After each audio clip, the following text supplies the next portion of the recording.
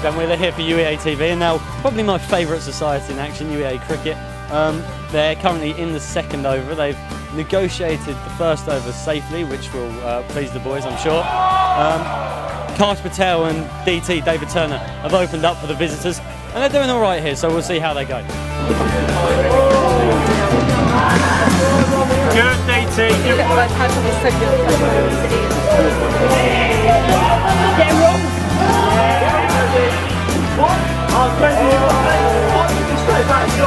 Good.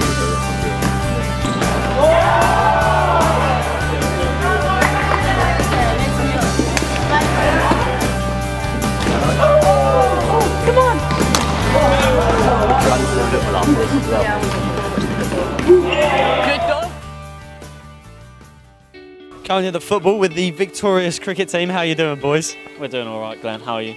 I'm very well, thanks. Excellent win today, Blandford. What would you put it down to? Oh yeah, big win. Uh, I think the game changer for us was Karsh Patel. Came on, bowled beautiful leggies, uh, changed the game for us. Unplayable. They couldn't. They couldn't read him at all.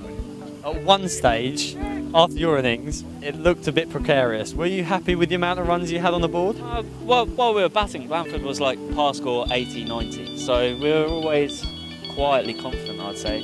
Being at their place, there's always an element of doubt. So yeah, it was all right.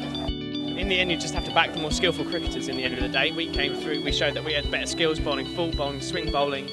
They couldn't play at all. They didn't have a clue. A lot better than theirs. There were a few run outs actually, well, run out opportunities that were missed a lot. Um, DT, retired, lovely knock. Oh, thank you. Yeah. Um, yeah, played all right to be fair. Uh, but overall, obviously the team put in a good effort, and that Karsh was bowling. There he Here he is, the man of the moment. You've been named as uh, man of the match by your teammates, Karsh.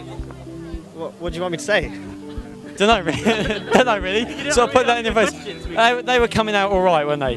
Leg spinners today. Yeah, you know, leg spins, googlies, off spins. I was bowling everything. Just The absolute works. And a couple of wickets for you today as well, Elliot. Yeah, yeah. Happy? Yeah, yeah, it was good. Different bowling with the yellow ball, but a bit of movement early on was good. Just get the wickets.